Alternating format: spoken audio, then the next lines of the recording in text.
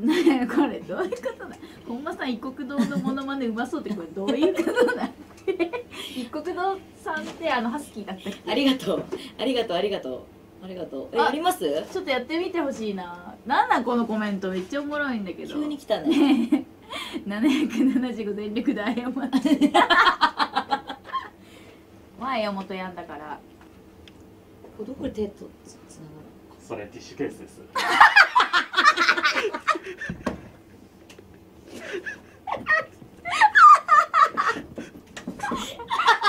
入らんわ。あー面白い。あーめっちゃ面白いんだけど今の。どこに手が入るの？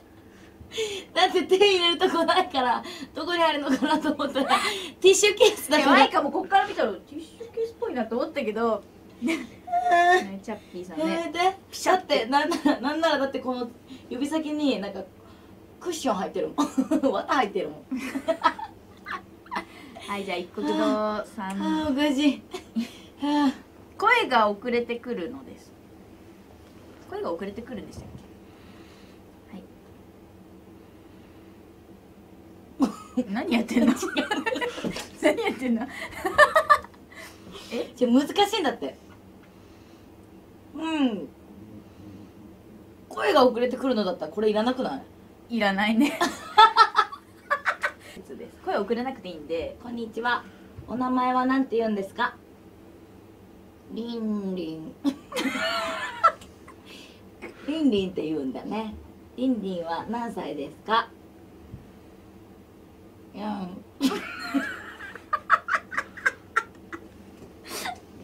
4 歳です4歳なんだ。どこから来たんですか？チャイニーズあーね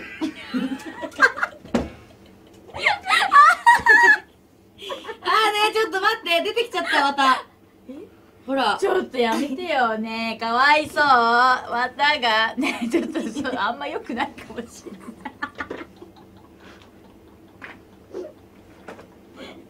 もうちょっと待って。熱いちょっと待って熱い。ちょっと待って熱い。ちょっと待って熱い。チャイニーズがめっちゃ面白かった。なんで？声動いてなかった？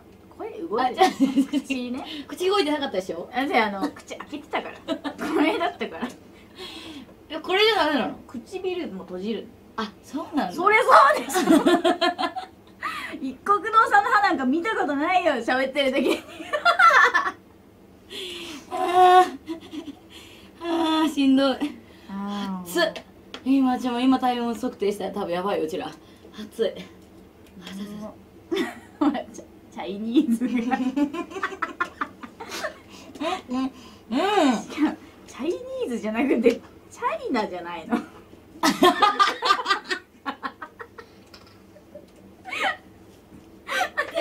痛い肩痛い肩痛いそっか。チャイナか。ああおもろい。チャイニーズ。チャイニーズね。そう中国人って意味だから。やばいもう。しんどいですちょっと。はいうん。ああ面白いはいはいはい。ありがとうございます。あーめっちゃ汗かいてやばい。暑いもん。腕まくりしてますからね。はいすごい暑い。本当にあーしんどい。面白かった。あーしんどい本当に。今日朝から今日朝から朝あの名古屋から帰ってきたんですけども。はいもう多忙すぎてあの汗かきすぎですよ私。なあね帰ってきて打ち合わせ行ってトレーニング行って打ち合わせ行ってここですよ。最終的に最最終的にチャイニーズですよ。腹話術最終的にチャイニーズおもろいあーおかしい。本当に。やだ